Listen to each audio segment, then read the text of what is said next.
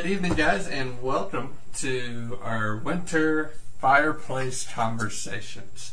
And uh, so good to see you guys here. And we'll be spending a few moments with uh, you and I here this evening. And uh, mark your corner if you like. We got the fireplace going over here on the computer.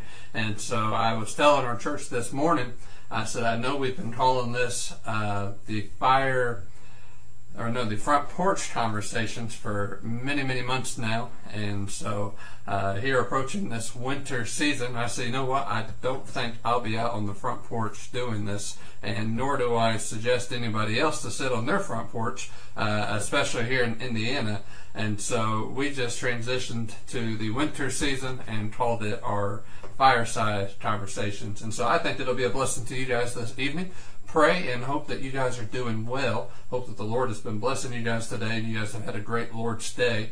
Uh, we have had as well, especially this morning. It was so good to see everybody this morning, and we had a uh, wonderful service looking back and just remembering how so good the Lord is to us and uh, how we can be as Christians joyful for His many blessings, especially in the season of Christmas. And I pray if you haven't done that, go ahead and look back on the morning service. It'll be a blessing to you, I'm sure. But if you have your Bible uh, today, go ahead and go to Ecclesiastes chapter 6. Ecclesiastes chapter 6.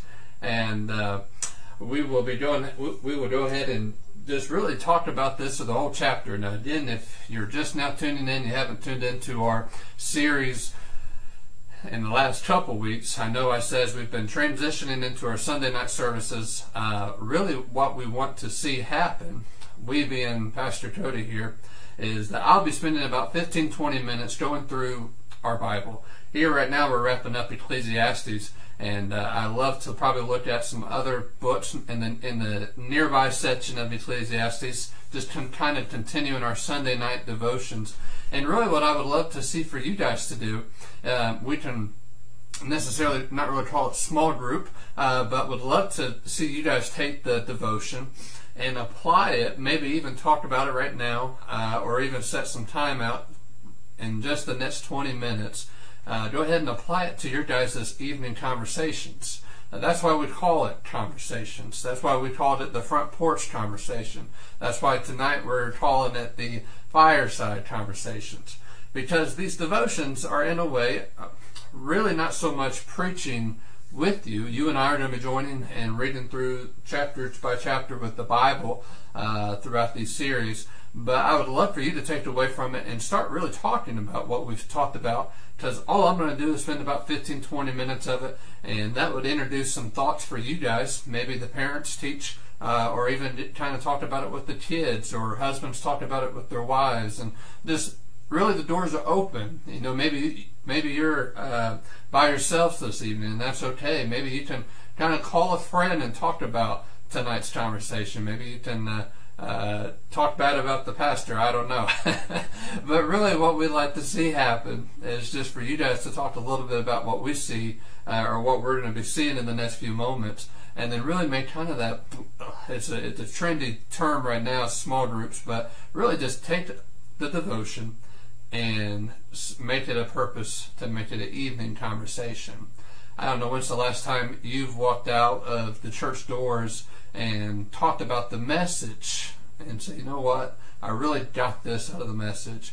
Um, so that's just really what we're what we're aiming for, and we'll try we'll, we'll kind of assist you with that in the coming weeks. I'll probably uh, have some questions leaving at the end of the end of the service here, uh, end of the devotion really um, for maybe some startup questions for your guys' conversations, and I pray that it'll be a blessing to you. So, looking forward to that. Just a couple of announcements before we get into our prayer group. Uh, if you're part of Fairbanks Missionary Baptist Church, we are going to be having a leadership team meeting next Sunday. So, that will be our deacons, our trustees, our treasurers, uh, me, good Lord willing. So all of our leadership team members, we're going to be joining and talking about a few things that we need to talk about, kind of wrapping up the end of the year and looking ahead for next year of what 2021 will bring. And uh, we have a couple of topics that we're going to bring forth to the business meeting. And so Fairbanks Missionary Baptist Church has a business meeting quite often. So we're not going to be having it next Sunday, which is December 13th, but we will be having a short business meeting on December 20th, and we have some things that we'll be partnering with uh, contractors for church building improvements. So if you're a church member listening to this, we'd love to see you on December 20th, especially that morning service, and stay after. It'll probably only take about 15 or so minutes, and uh, it'll be it'll be an encouragement to me. It'll be a blessing for the church, so we can decide on some good business, and that way it allows the church to partner with some local contractors uh, to see some church improvements being done, Lord willing, in the next couple of months. So that's all that we've had the announcements for uh, from this morning into tonight. And if you haven't done so, this is a very special announcement, probably more important than even our meetings, as much as I would not like to say that. But if you haven't yet done so, we would love for you to prayerfully take some take some moment here and just pray over uh, giving to our missionary wives of the Fairbanks Missionary Baptist Church family. We are taking a little bit of a love offering both last week, today, and next Sunday. And uh, we're wanting to aim about $1,000, $1,200, $1,300, somewhere in that ballpark. We'd love to give a good good offering to each of our missionaries that we've been supporting this year. And uh, in order to do that, we need your support. We need your guys' help. So if you have not yet prayerfully done so, would you mind considering giving a special love offering, a Christmas offering to our missionary wives? Uh, we, we do need it still. We're, we're not yet close to it yet, but I know we will this month. And I know we're going to be an encouragement to our missionary wives. Uh, they, many of them are out in other parts of the world and they haven't and they will not be able to experience the same kind of American Christmas that you and I get to enjoy today. So let's go ahead and see what the Lord will have for us in Ecclesiastes chapter 6, and let's pray for his blessings upon our devotion this evening. Dear Heavenly Father, Lord, we love you. Lord, we thank you for today. Lord, we appreciate all the goodness that you have given us. Father, Lord, now as we come together in evening time and enjoy enjoy this uh, wonderful time of devotion, Lord, we pray that the Holy Spirit works in our hearts and Lord, that you try us and that you may encourage us. Maybe, Lord, that there's a good nugget here to talk about. Maybe some, maybe somebody will learn something about their relationship with you, Lord, or learn something about their outlook in life uh, that they maybe need correct or maybe are encouraged by tonight. So pray, Lord, that you may assist us and our families and our church and our friends and those that are connecting with us to assist them and having some good, meaningful conversations, Lord, even after this time of devotion. So, Lord, we just pray that your word be a benefit to us tonight and that the Spirit may speak through it, and not myself, but your words only, Lord. We pray these things in Jesus' name. Amen. So, if you have a Bible, let's go ahead and turn to Ecclesiastes chapter 6, and we will begin our fireside conversation. Ecclesiastes chapter 6. Why don't you read with me, and we'll begin our fireside conversation here as we read. And so, here in our fireplace conversations, the Bible says in Ecclesiastes chapter 6 there is an evil which I have seen under the sun, and it is common among men. A man to whom God hath given riches, wealth, and honor, so that he wanteth nothing for his soul of all that he desireth, yet God giveth him not power to eat thereof, but a stranger eateth, and this is vanity, and it is an evil disease. If a man beget a hundred children and live many years, so that the days of his years be many, and his soul be not filled with uh, good, and also that he have no burial, I say that an untimely birth is better than he. For he cometh in with vanity, and departeth in darkness, and his name shall be covered with darkness. Moreover, he hath not seen the sun, nor know anything. This hath more rest than any other. Yea, though he live a thousand years, twice told, yet hath he seen no good. Do not all go to one place. All the labor of man is for his mouth, and yet the appetite is not filled. For what hath the wise more than the fool? What hath the poor that knoweth to walk before the living? Better is the sight of the eyes than the wondering of the desire. This is also vanity and vexation of spirit. That which hath been is named already, and it is known that it is man, neither may he contendeth with him that is mightier than he. Seeing there be many things that increase vanity, what is man the better? For who knoweth what is good, the man in this life, all the days of his vain life? Which he spendeth as a shadow. For who can tell a man what shall be after him under the sun? So the first thing that we see here really is life's purpose and attainment. This is not the first aspect of our devotion, but it is something that we see as a title, really, if you if you're taking notes, a title uh, for this evening for the chapter. We just simply call it life's purpose in attainment, and I'll be talking about that here in just the next few moments. But what we first off see in just the first few verses is a quaint saying here, and you may have heard it. Uh, maybe have heard may have heard different translations of it. Maybe it's different words of it. But really, the first statement, the first tidbit of wisdom that old Solomon gives us is that this is as futile as watering the post, as futile as watering the post. I don't know about you, but I don't know if you have a post where you live. If you visit us here at the parsonage in Fairbanks, you'll find that we have a really well decorated stump. And uh, I have a picture of the house many, many years ago, back in 1989, in fact, and there's this beautiful, great, beautiful pine tree uh, that probably would have been a great piece to our front yard. It would have provided a lot of shade in our beautiful front porch that we have here in the parsonage. Uh, but for whatever reason, I think it was a bad storm. Uh, our beautiful, our, that beautiful grand old pine tree had fell, and what is left is now just a uh, old, wrinkly, no good for nothing other than a squirrel to eat eat the uh, things around on it stump.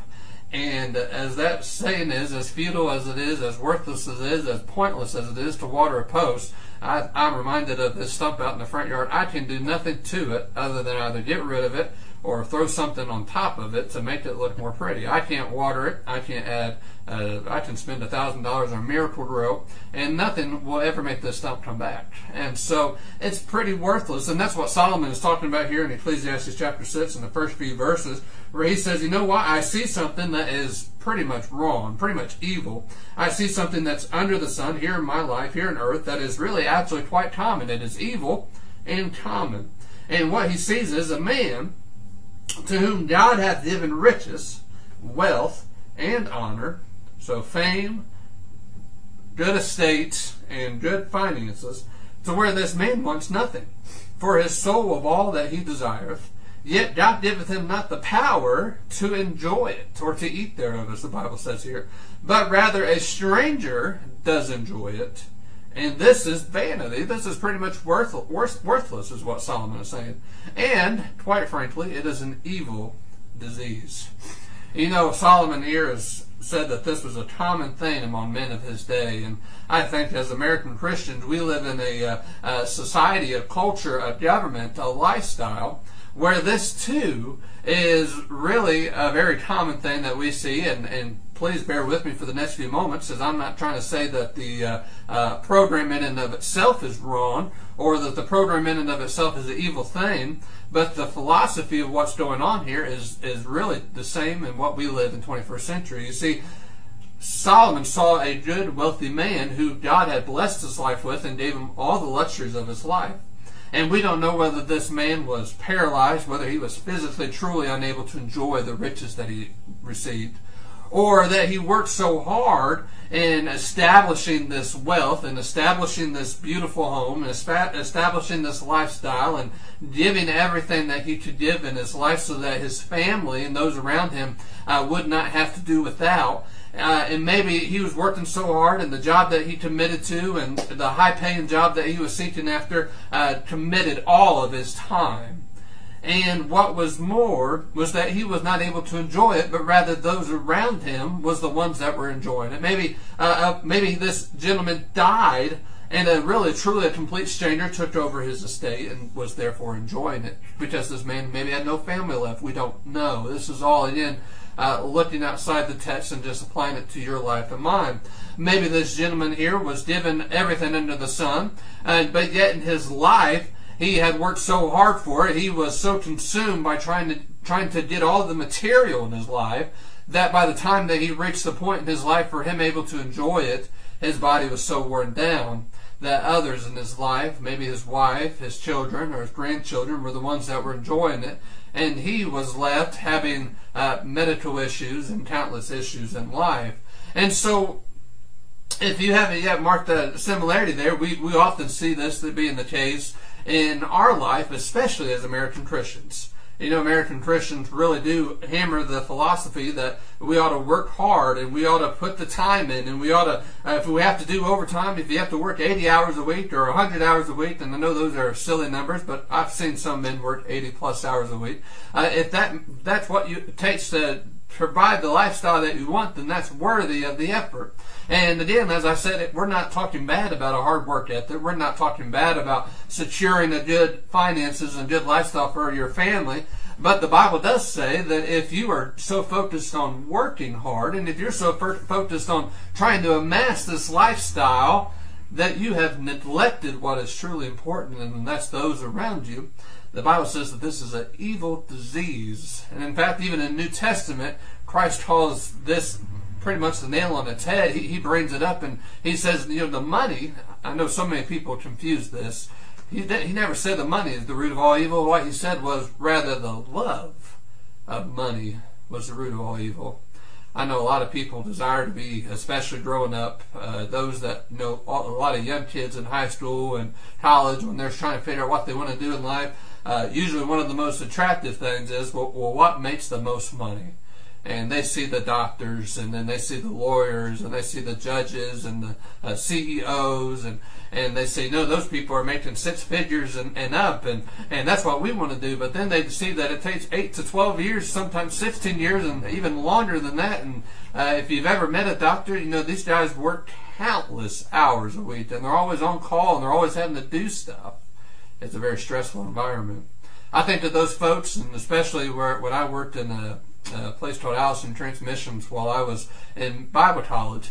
I was working around a lot of guys, and uh, you know it was it's kind of one of the remnants of the 50s and 60s of the of the great industrial new you know the new industrial area uh, in the Midwest really where factories were coming up and GMC was just building factories like McDonald's on corners and everybody from around the surrounding states were just flocking to these car factories and automobile factories and really it, it provided a good job. You know, the husband can work one job and the wife to stay at home and uh, you, you had the Saturdays and Sundays off and you, you, you pretty much were given a pension and everything else under the sun. But a lot of these guys that I've met now that are much, much older, they were in their 60s and 70s, uh, really had, you know, double knee replacements. Some guys were putting rods up their spines. Other guys were really just, you know, trying to repair their body from a life of so much hard work. And again, Psalm is not critiquing the man for his wealth, but if you find yourself in a lifestyle where or maybe a pursuit of lifestyle where you are the one that's doing all the work and you are taxing your life at the expense of maybe the possibility of acquiring it down the road. You're not guaranteed tomorrow, my friend. And Solomon says that this pursuit, this greed, is an evil disease, the Bible says. We need to make sure that really we're not focused on what we can achieve in life, but rather what God's purpose in life is for us. You know, mayhap God does call you to a place as a doctor or something where it requires uh, uh, many hours of your life, but, but I think for many of us, we neglect, we try to obtain those things in our life, especially in Christmas. We work overtime, we try to get all the things we can, we put everything on credit, and we, we're going to work overtime next year to pay it off just for these fleeting temporary moments of enjoyment. But the Bible says we ought not to we ought not to labor for something in the future, but rather to enjoy life's blessings now and today, something that we talked a little bit about last Sunday night. In fact, I remember reading one commentary here, and I have it written down, where he was writing, and he said, You know what? Solomon was saying to us, it was saying that we should enjoy the blessings of God now and thank Him for all of them. Don't plan to live, start living now. Be satisfied with what He gives you and use it all for His glory. I thought that was really neat, that phrase. Don't plan to live, start living today. You know, a lot of us do plan to live. In fact, uh, we have family over this evening, and they were we were planning on vacations next year. But truth be told, we're not guaranteed next year. In fact, we're not guaranteed tomorrow.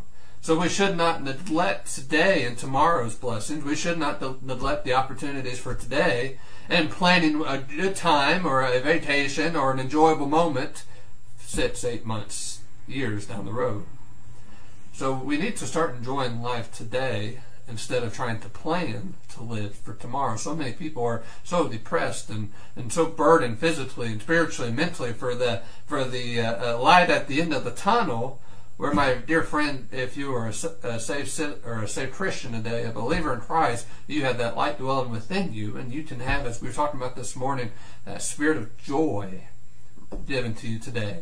And the Bible continues on for the sake of time. Let's go ahead and continue on here. The Bible mentions something else, secondly, and that is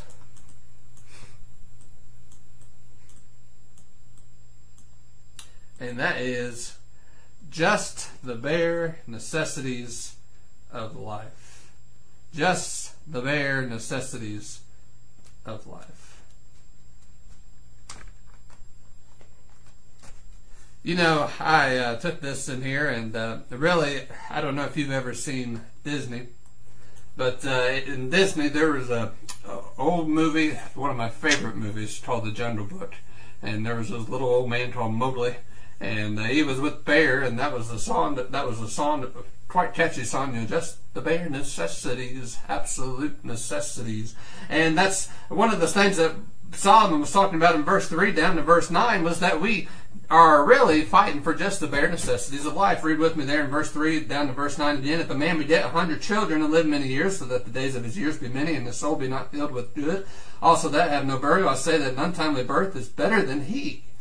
Talking about the Solomon was talking about this man that we just talked about. Uh, it would be better for him not to be born at all than try to live a life full of labor and never become to enjoy it. And, that, and that's an extreme statement, but we understood what he was saying just a few moments ago. Now, now in verse 4 For he cometh in, in with vanity and departeth in darkness, and his name shall be covered with darkness. Moreover, he hath not seen the sun, nor known anything that this hath more rest than the other.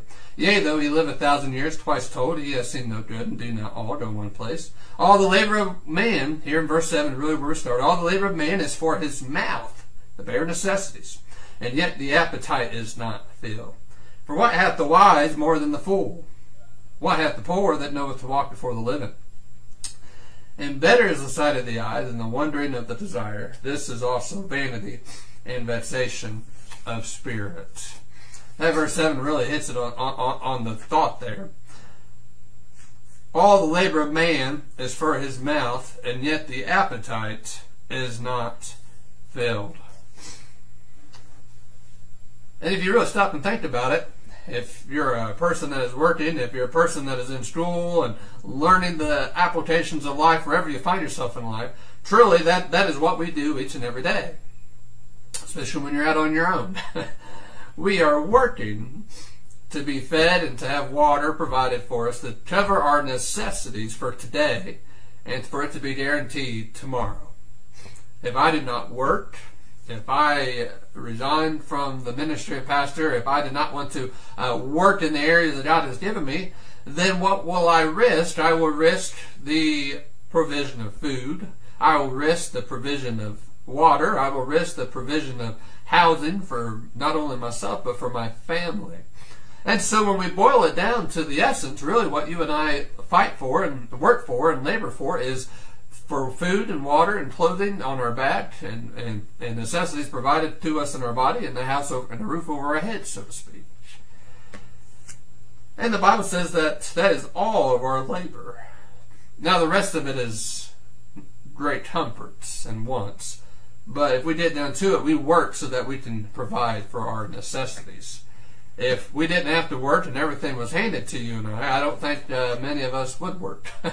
and uh, that would be the luxury of, of, being a child or a teenager, perhaps. Uh, you, you, don't necessarily have to work. And I know I say, well, we got chores. Well, you're going to find out real soon that uh, maybe some of the adults here listening are shaking their head. I think I'd rather do chores around the house than work any day of the week. That, that, that sounds so much more pleasing and beneficial. And then that's true what we find here is, is that we need to focus not really so much on the wants, but we do really work for just the bare necessities of our life. And again, what one commentator is saying is this: that it is better to have little and really enjoy it than to dream about much and never attain it.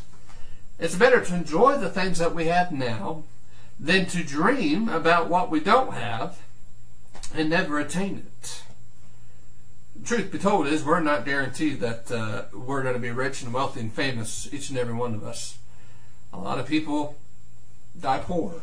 A lot of people, as they get older, become uh, more tight financially and preserve more. That this is usually just the fact of life, the trivial, tri- the trivialities of life. And so, a good Bible lesson for us today, and what God is trying to talk about, just some good wisdom, is to enjoy what you have for today. Because we can have a life full of joy, we can have a life full of happiness. I was telling my church family this morning that happiness is depends on what happens in your life and mine. And we can teach ourselves and really uh, learn a very spiritual state, as, as Paul said in Philippians, learn to be content wherewith God puts us. And that's what a spirit of joy is learning to be content wherever God puts us. If God puts me in a, uh, a $500,000 house in, in Hawaii 50 years down the road, I won't complain a bit. But if God sees fit to put me in a little shack or put me in a nursing home, I, I don't know what life has for me. Maybe the Lord will call us back in 10 years. I don't know then that then that will be fine. If if I have learned to be spiritually mature and learned to have that true spirit of joy, I'll be like Paul and say, I will be content, I will be comfortable, I will find enjoyment wherever God has put me. And that takes a strong Christian today, and I pray for it. If you don't if you don't think you have that, that'd be a good thing to pray for. Especially what COVID in 2020 has taught us that sometimes the luxuries of life, the entertainment of life is not always guaranteed for us on a day by day circumstance. Read with me last, and we'll wrap up here. Re, uh, really, the last point that we're talking about is knowledge isn't always the answer. Knowledge is not always the answer. I learned this rather, rather uh, quite quickly, or literally, when we were looking at x-rays of Alina when she was in the womb and we got to see a lot of ultrasounds and a lot of things but really the ultrasound gave me knowledge but it didn't give me answers it didn't tell me whether Alina had blue eyes or brown eyes didn't tell me whether Alina had uh, any problems in her life it didn't tell me what type of personality she was going to have she came with a warning label the knowledge of what the ultrasound had did not always provide answers. When you did x-rays about a broken bone, it doesn't give you answers about how the bone's going to get fixed. It just gives you knowledge. If you were diagnosed with an illness and they say, hey, this is your charts, this is your blood levels, you have the knowledge of it, but you don't know the answer of when will it go away, what will my side effects be, how will I feel tomorrow. So knowledge isn't always the answer to our problems. And read with me here from verse 10 to 12. Solomon really concludes that with these questions. That which hath been is named already. That's his first statement. Things that already are, are already been planned. And it is known, one of the things, that it is man. And man, not, not, he cannot contend, he cannot argue with, he cannot go up against him, being God, that is mightier than he. Seeing there be many things that increase vanity, increase the worthlessness, what is man the better? Pursuing all these things of entertainment. And for who knoweth what is good for man in this life? All the days of his vain life, talking about one who just pursues life and not God, which he spendeth as a shadow there, not having the light dwell with them. For who can tell a man what shall be after him under the sun? And that's really the one of the most important questions for your life and mine tonight, friend. Who can tell a man or a person? Who can tell you? Who can tell me what shall be after us when the life is over? When the sun goes down in our life and the sunset hours of our life, who can tell us what will be after the our life is over? And if you're just a beginning Christian, if you're a labor Christian, if you are somewhere in between, if you don't even know yet, the Bible is our answer there, my friend. The Bible says that there will come a day that whether it be natural causes, whether the Lord calls us home, there is going to come a day when this life is over. and all the hard work that we put in, or maybe the luxuries that we're trying to enjoy, when all of it is going to go away. And what will only ever matter is whether you've accepted Jesus Christ into your life. Not how well you did, not what you gave to charities, not whether you were in church all your life or you never even once stepped into a building, but whether you accepted Jesus Christ into your life tonight or not. That's the question. That's the true meaning of our life. To quite simply know that we are a sinner. We've all done wrong. We've all continued to do wrong, and we're probably going to do wrong tomorrow. And that's just a simple understanding of who we are. And because of our sins, the Bible says that that separated us from God. And without reconciliation, without uh, accepting His gift through that birth of Jesus Christ, as we're learning what Christmas is about in the next coming weeks, we will remain a person who never asked God's gift to be belong into us, a person who never accepted God's gift into our life, salvation. And because of that, God doesn't hate us. God doesn't want to smite us. God doesn't uh, find us ugly. He, he loves us so much so that Jesus died for you and I tonight. But if we don't accept that, the Bible says then we're going to go to a place called hell. And there's a lot of things about hell, and we don't quite know all the answers about hell. You know, as we say, knowledge is not answer. But truthfully, probably one of the most scariest, one of the most harshest realities about hell is that it is an eternal separation of God and you and I if we never ask God into our life. Not the pain or the suffering or all that stuff that's in there, but the eternal separation of God and you and I. Even people who don't even know about God has God around them in their life today in this world. He's all around us. But if you've asked Jesus to come into your life today, my friend, if you haven't yet, I encourage you to do so. The Bible says all we need to have is a believing heart, knowing that we are a sinner, knowing that Jesus Christ came down and died for you and I today understanding that He died on Calvary for your sin and mine. He rose three days later as our Savior. The Bible says if we asked Him, our Savior, to come into our life and be our Savior as well, then God will be just and faithful to forgive us. And when that day comes, when the sunset of our life is approached, doesn't matter what you do, doesn't matter what you didn't do, doesn't matter what you tried to do. It all matters whether you accepted Jesus Christ in your life and I pray that you have. Looking forward to what you guys will be talking about tonight in our fireplace conversations, and looking forward to seeing y'all again soon, maybe this Wednesday, dear Lord willing, as we continue our study in the book of Job. God bless and God be with you. Amen.